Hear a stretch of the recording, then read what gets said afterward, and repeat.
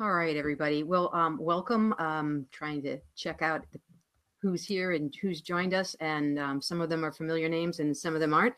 Um, and I may be a familiar person to some of you, but um, I'm also the the director of uh, community development here at Red Hat, and I'm really thrilled to have um, Christian Glombek with me today, and hopefully Vadim and Charro may chime in and join as well. Um, and what we thought we would kick off today's meetup was a little state of OKD4. Um, we've been doing a lot of work over the past year getting OKD, um, getting people to migrate from um, OKD3 to OKD4. It's got a new architecture. There's a lot going on under the hood and there's a pretty vibrant community already around OKD, but we're always looking for more people. So um, Christian is here with us. I'm going to ask him to um, give this talk, and then we will have Q&A and conversations afterwards. So Christian, take it away. All right, thank you, Diane. Hello, everybody. I'm Christian Glombek. I am an engineer on the OpenShift organization, um, and I work on the OpenShift, on the OKD working group as well with Diane and Vadim and Charro, um, who will hopefully join us later. All right. Um, so what is OKD? Uh, OKD is a community distribution of Kubernetes, first of all. It is the OpenShift flavor, the OpenShift code base, uh, on top of Fedora CoreOS. And Fedora CoreOS, uh, the operating system here, is actually included in OKD. It's become an implementation detail in OpenShift. Uh, so uh, let's have a quick look at the agenda. We'll, we'll have a quick overview um, of OKD4. Then we'll quickly talk about the state of OKD4. And we might have a demo later if Charro uh, shows up. Okay, so OKD4, a community distribution of Kubernetes plus plus. Um, and as you may have already uh, heard or know about, uh, OpenShift is a distribution of Kubernetes, but we add a, a lot of extra uh, niceties to it. Um, and OKD is the community version of that. So we have automated installation, patching, and updates from the operating system all the way up uh, to the cluster, one lifecycle for cluster and operating system. And it would normally look like this, um, as you can see here. You have any, any platform provider uh, at the bottom, and then on top of that, you'll be installing um, Fedora CoreOS as part, that'll be actually part of the uh, OKD installer, so it'll all be done automatically. It'll install uh, Linux hosts, a cluster of Linux hosts, and then it'll uh, install the, the actual cluster uh, software, the uh, Kubernetes distribution that OpenShift is on top of that. And um, this way we provide a great platform for running your applications um, on top of all that. So it's a great, uh, OKD and OpenShift are great for uh, both hosting and also for developing. we actually have a lot of uh, development tools here uh, that make it easy for uh, developing teams or uh, individual developers to get started right away um, with working and implementing services for that, that are run on OpenShift. Okay, yeah, and here's a quick look at the platforms that we uh, support. So we support bare metal, um, virtualization, OpenStack, AWS, Azure, uh, Google Cloud, uh, vSphere. So there's um, literally all of them, um, and we're constantly adding more to them. It's we we, uh, we support all the platforms that are supported by um, by the OpenShift product as well.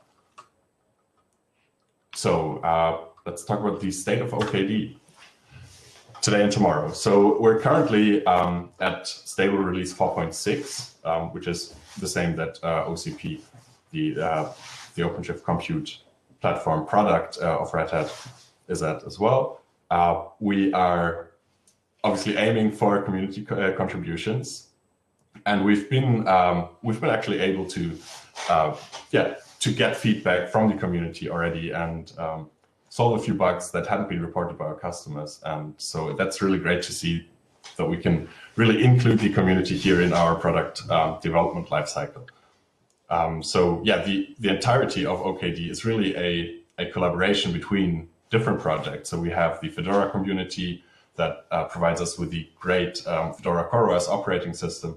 And then we have the operator hub on the kind of on the other end of that, uh, which provides services that you can actually deploy on your cluster. Um, and in the middle of this is OKD, which provides, which bundles it all together and provides the platform. Um, yeah, we, we have bespoke operators for OKD. So a few of them um, are specifically made for OpenShift and for OKD. They don't um, run on, we, we don't test a few of them on, on upstream Kubernetes, but uh, for example, the, the OpenShift pipelines operator is specifically made for OpenShift. So um, you can find these operators on the Operator Hub community catalog. And they, they are available um, when you inst uh, install a new, a new instance of, a, of an OKD cluster, you'll have the Operator Hub catalog on the side, and it's really just a click for the cluster admin to install an operator that will provide you with, uh, with new features for the entire cluster. Yeah, uh, what we thrive to do in OKD is enable early adoption of upcoming technologies. So we really want to be um, the first to um, to be able to to use a new feature in uh, both upstream Kubernetes and also um, the OpenShift code base. So release 4.7 is coming soon. We have rolling releases, so we release about every two weeks, and um, we're currently on 4.6 point, I'm not sure, seven maybe, um, and so uh, the next one or the, the one after that will be the first 4.7 release. So it's uh, it's coming soon. All right, and now I don't have the demo. I'm not sure if if Charro is here. If he is, uh, I would like to hand it over to him. Yeah, I think Charro is um, is out of action um, due to time zone issues. So um, what what just really wanted to talk about here a little bit is um, some of you may have, be aware of the Code Ready containers offerings that we have um, for OpenShift.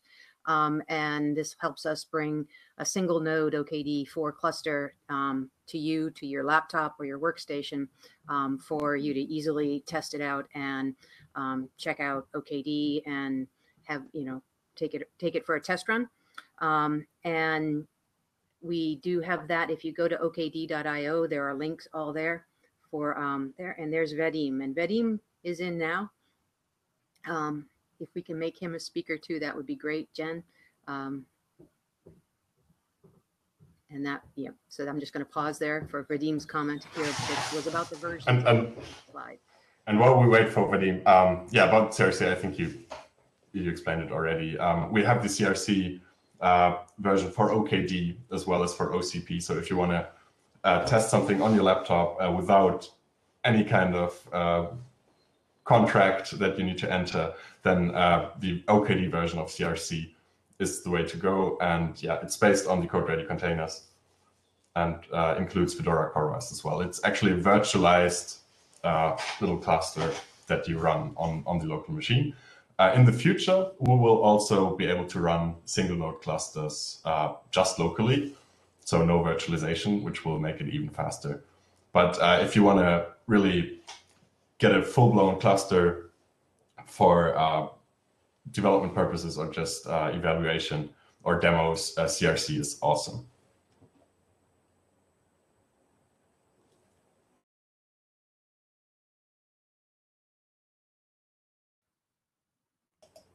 So it looks like Vadim is still having trouble to join. Um, and he just corrected me in the chat. Uh, we don't have uh, ZStream versions uh, for OKD. So it's a rolling release. We actually put a date on it. Um, I'm not sure the, the which one it is, uh, but we've had a few 4.6 releases. And one of the coming ones will be the first 4.7 release.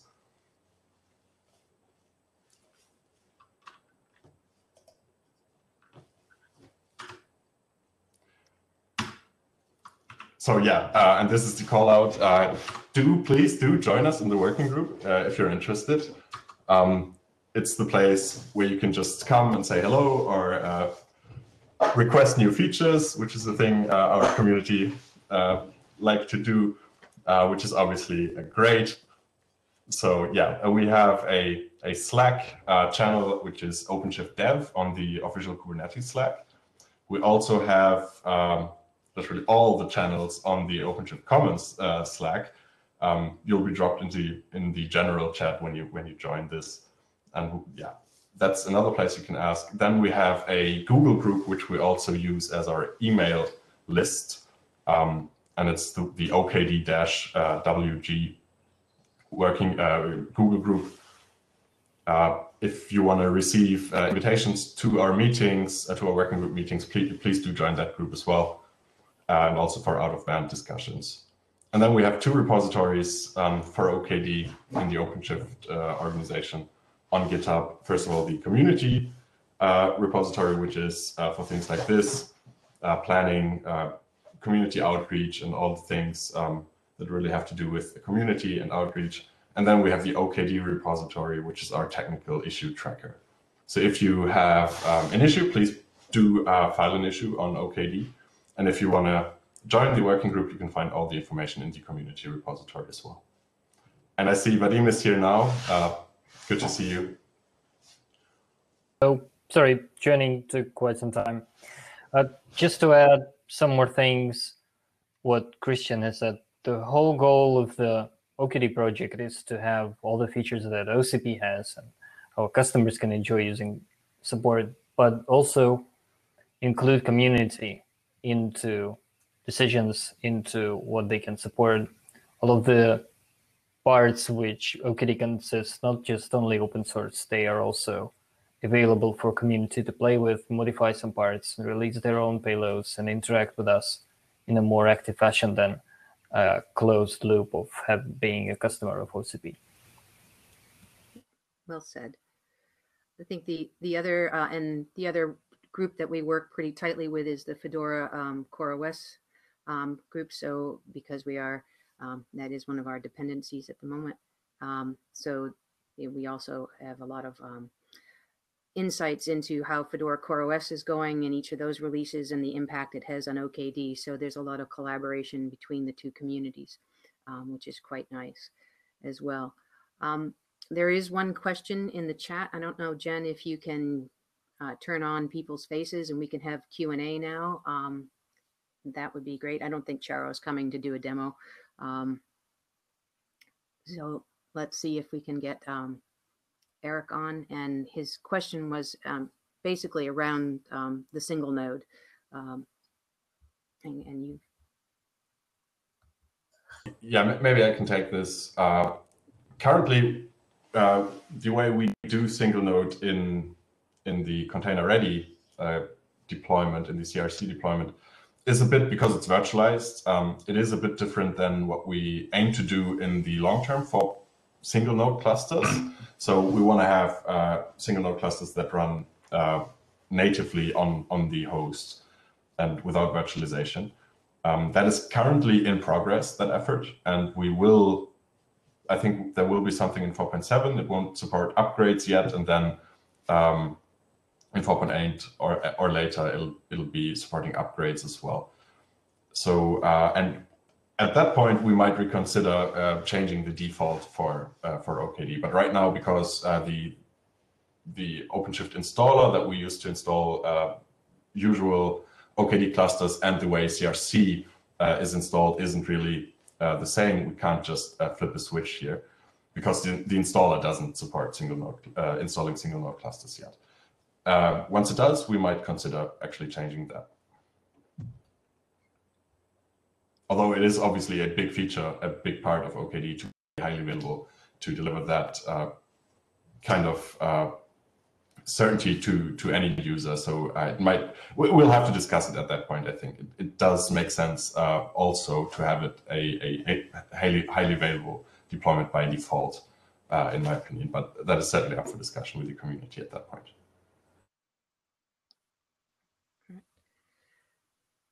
And so and I'm not seeing too many other questions in the chat here. So um, I think that one of the things that we're really been focusing on um, as a working group, and you, you, can stop sharing slides and we just go to talking heads now, um, is um, getting more community involvement in testing on different um, deployment configurations.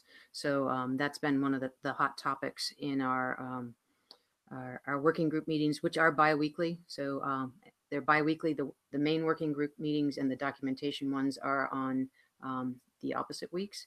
So um, we're really trying to push through getting better testing pipelines done um, and supported by the community.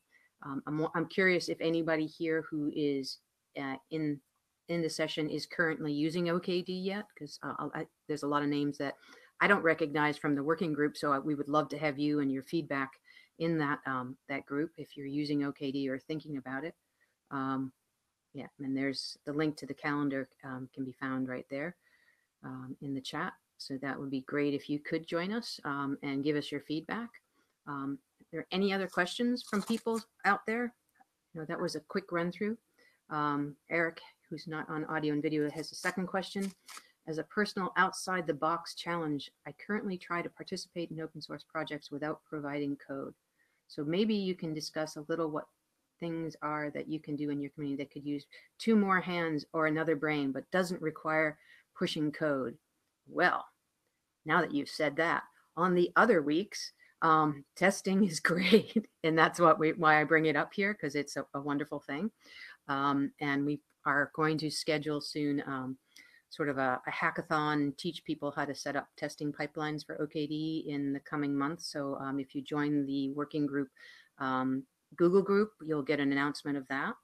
Um, documentation, we are currently um, redoing the okd.io site um, and updating um, the documentation. So there's on the opposite weeks, also in the Fedora project calendar, um, is a documentation session. So next Tuesday at 1700 UTC, which is, I'm on West Coast time, so that's 9 a.m. for me, noon on East Coast. Um, we will have a session and there's a lot of holes in our documentation. Um, and we are trying to get them up to snuff um, and keep them up to date. So there's very, very many minor, small tasks, grammatical errors, things that you can help us with. And then um, one of our, our key goals is we have um, pretty good technical documentation from my point of view, but not great um, getting started documentation um, we kind of start at a higher level probably than we should. Um, and so we're trying to bring that back down so that people will get, um, get, uh, get, make it easier for people to start um, with OKD, whether it's with CRC or just deploying it themselves. Um, then there's another question. I also wanted to add for the starting place so to help the community. Um, a lot of um, quite a lot of chunk in our jobs is usually revolving around installation and upgrades. So we try to focus on that and we're covering it well, pretty well, let's say. The problem comes is how do people use their clusters? What are their usual workflows? Which problems do they hit during the whole life cycle? Are they running some data mining? Are they running just some nginx pods and so on?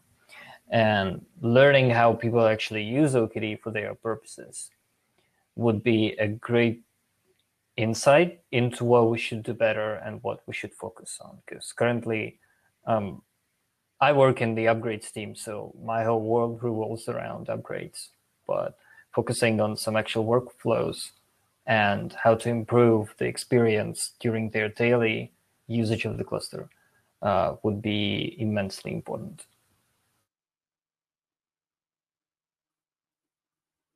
I see there is another question in the chat. Uh, in the new community, just, oh, wait. Hello, what is the situation with the building of the Red Hat operators? Is the statement regarding usage um, still valid? So um, you should be able to run uh, all the operators, uh, even from the uh, from the subscription catalog uh, for the Red Hat product, you should be able to run them on OKD and vice versa. So if you have an OCP cluster, you should be able to run the OKD operators on it. Obviously, that is not very well tested. And we don't build all of the operators that we have um, a subscription product for currently for the community product, but we want to change that so that we really get um, the entire palette of uh, of operators available to OKD as well. Um, it should be like if it's if it's in one of those catalogs, you should be able to install it and it should uh, it should run. If it doesn't, that is not expected, and uh, please file an issue in that case. Roberto is asking, um, is saying he's new to the community and he did join us last week um, or this earlier this week. Um, I think it was on a Tuesday, um, probably the working group meeting. I guess we didn't introduce you, so I apologize for that. Um, and he's asking how I can get um, an assignment from the OKD backlog. That sounds, Vadim, like somebody you want to know. We do have a, a, pretty long at the moment uh, uh, issues list, but I think most of them are um, a little more, they're not low hanging fruit, I would say. Would you agree with that statement, Vadim? Um, so we're working on getting a tagging system for the issues so that we can add in some low hanging um, fruit for people to do. But depending on, um, Roberto, what your expertise is, there's um, a lot of things to experiment with. There's some mixed architecture and multi architecture work going on um, with OKD that's just kicking off. Um, so it really depends on what you are interested in and what sort of workloads and where you're deploying. Um, I did mention we're going to try and host um, using Hopin um, a uh, hackathon on testing and setting up testing pipelines for the different variations. So um, that might be a place to jump in as well. So again, I point everybody to join the Google group for announcements and emails about that.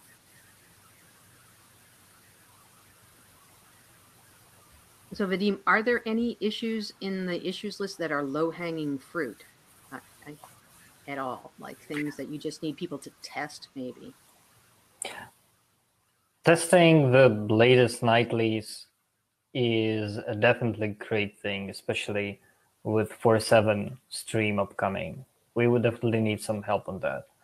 It may sound boring, but uh, this is incredibly important because we have to, at the same time, not break other people's stable releases, but also prepare the new stable from the upcoming 4.7. And the lack of time is a serious one. Um, we also have a contributing guide that definitely needs some love uh, because it's very generic. We cannot think of the ways how community can contribute right now. It's up to them which parts to change. So we're interested to find out what are the most common cases where people would like to change OKD payload?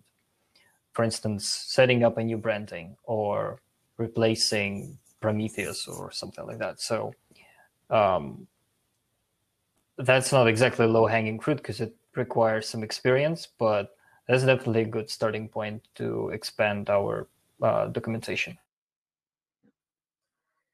Just to add to that, our OKD uh, issue tracker really is a just a collection uh, of issues of the out of the entire realm of OpenShift. So what we really some most of the times then do is triage that and um, hand it over to to the team that would actually uh, own that component uh, where the issue occurred.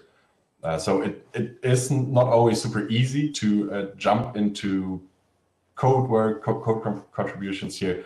Um, because the first step um, is oftentimes to actually find the component this uh, this issue actually sits in um, and actually find the team that knows what, what's happening. Uh, because we we do what, what what OKD essentially is is a collection, a bundle of a lot of softwares, and we put it together and make it into a system that works. But if something breaks, it's mostly in one of those components, and it might not be super easy to see.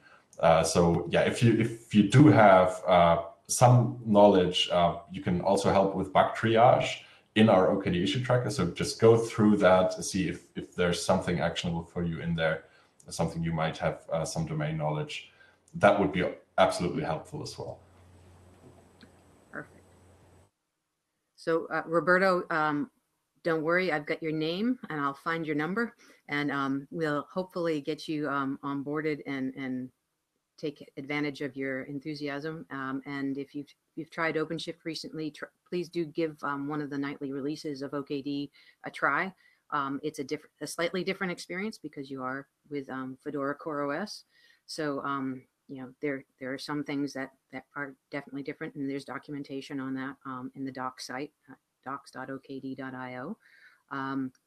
And you know we'd love to have your feedback and as i said and i'll keep repeating myself um, next tuesday um, there is the docs meeting so and our focus next week is on um, two parts, the contributor's guide work and on getting the documentation on what it takes to set up a testing pipeline. So um, Jamie um, from Magira, Magria from U University of Michigan is going to help us get that documentation done.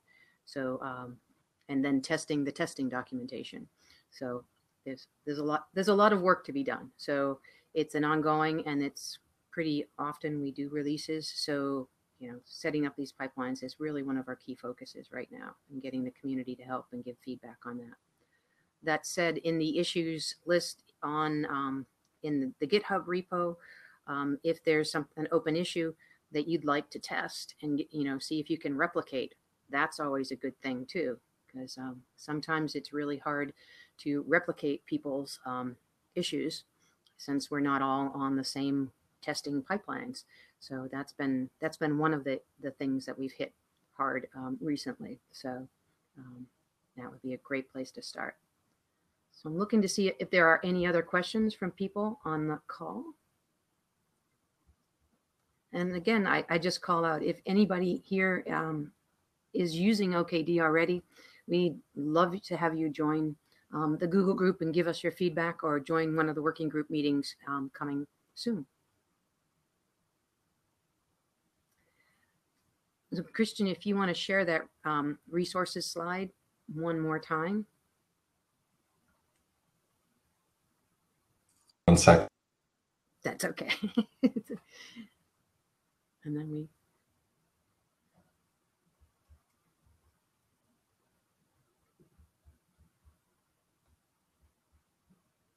All right, Roberto, we look forward to seeing you.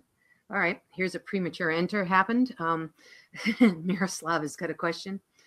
Uh, what he wanted to ask is whether one is really legally allowed to run OKD with Red Hat build operators in production, obviously without OCP subscription because there are no restrictions meant mentioned on GitHub. Is what he meant.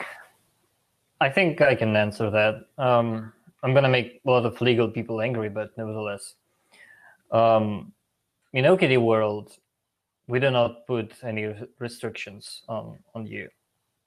What we do is we allow you to install without an else, uh, without a pull secret, uh, unlike OCP. But if you use that um, pull secret to pull in uh, operators from Red Hat catalog. The restrictions put put on you by signing in on Cloud Red Hat still apply. These restrictions apply, meaning uh, after 60 days, you have to change your subscription from eval to standard or any other, or remove the operators. Um, but since it being an OKD, meaning not a Red Hat product which we support, you don't get support when you're installing the separators. Uh, but you can still use them. This is why all of those restrictions are not mentioned on GitHub because we depend on whatever end user license agreement is set on cloud.redhat.com and we don't feel like changing it every single time uh, this agreement changes. Uh, so yeah, that's basically the short answer. You get all the benefits without some of the benefits, and all the restrictions obviously still apply. Yeah, if if you don't use the pull secret and you don't pull in any operators from the subscription catalog, only the community or upstream operators, um, then you are free to use those in production as long as you want as well.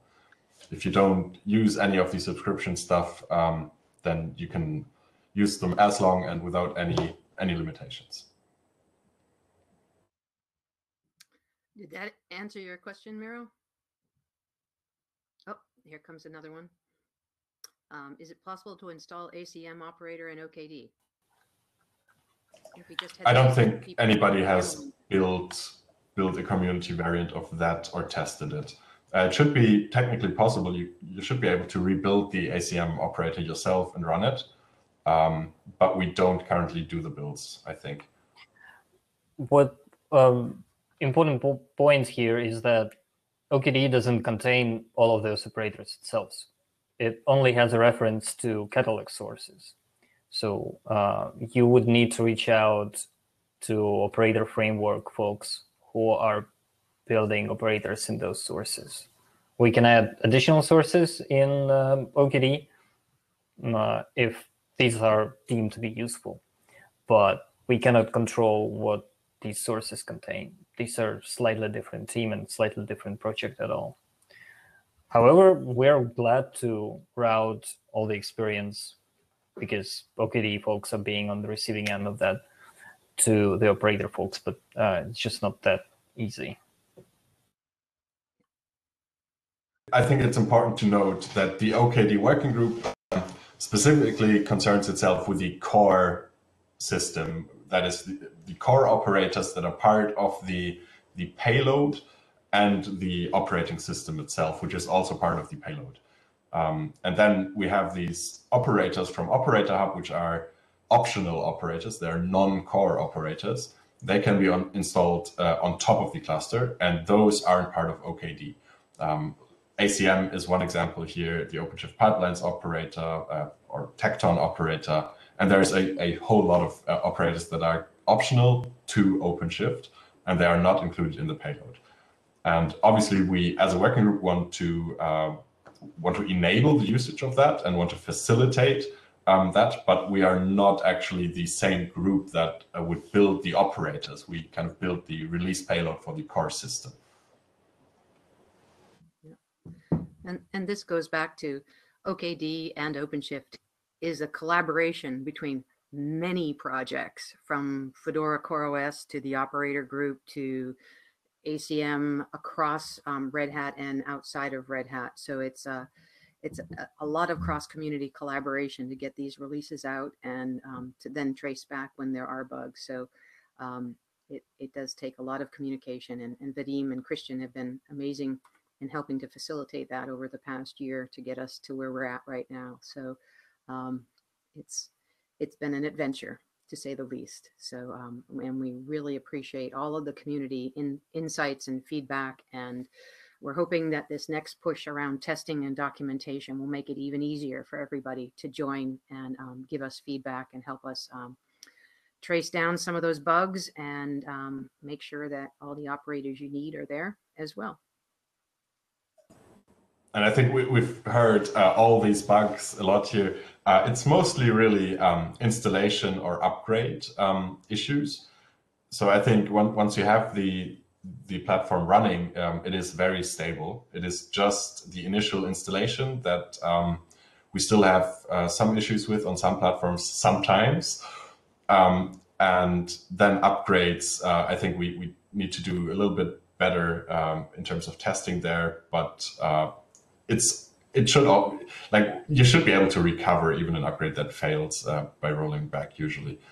And um, so yeah if, if you get if the installation actually uh, succeeds which it usually does but there's i think the, yeah most of our issues we get is for installation failures. Uh, sometimes you just have to try again because your infrastructure was too slow or something. That, there, that there's just a whole plethora of, of possible causes there which is why why those issues are still open. Um, but yeah, I think once you actually have the system running, um, it is a very stable system. I would like to add that in when you compare that to Kubernetes and plain installations, the OKD has a very important difference. It's um, based on rpm-ostree and on operators pattern, meaning all of the system state is encoded on file system that is taken care of by rpm-ostree and in etcd effectively. So as long as you make etcd backups, you should be able to restore them from scratch and operators will make sure that your cluster state is being restored. And uh, the file system uh, state is being taken care of by rpm-ostree. You would be able to boot into the previous deployment, which has the right files. So uh, breaking a cluster is, well, trivial, but restoring uh, so is. You would just boot into the previous uh, file system and restore etcd from the backups. And there is no hidden uh, parameters file, no TF state, no Ansible scripts which are external to the cluster. Everything information about the cluster is encoded in itself. So it should be trivial to restore it. one of and and I apologize, Christian, if it, if I keep making it sound like there's tons of bugs in OKD, there aren't. As you say, it's it's the install and the upgrades that um, are really um, the thing because we really do get the benefit of um, the entire OpenShift engineering team drilling down on all of this um, for customers, and in some ways, rather than an upstream project, um, we kind of refer to OKD as a sibling stream project. So as things get worked out in OpenShift itself, um, we get the benefit of that in OKD as well. So um, there's there's there's good points and, and bad points of the siblings uh, stream um, process, but it has really benefited. Once you do get this deployed, um, we get the benefit of a lot of engineering effort. So um, it's it's just, uh, and I think that's probably why I keep focusing back on the testing um, and making sure because testing and getting it deployed, once you've got that done and we've got all the recipes for that, um, we're pretty much gold.